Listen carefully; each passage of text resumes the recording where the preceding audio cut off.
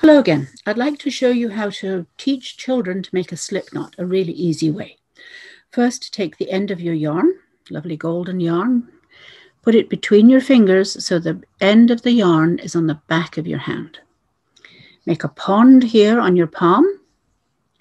A nice big pond makes it a little easier and make sure this is crisscrossed.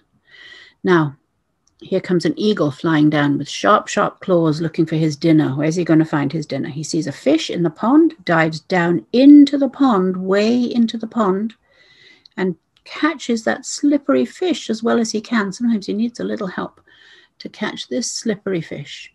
Holds on tight with his claws, don't let it slip, and pulls it up. And there's a really great slip knot. You can undo it anytime you like. That's what a slip knot's about. Here we go again short end between your fingers on the back of your hand, or the back of the child's hand if the child is making it. Here we're going to make a pond.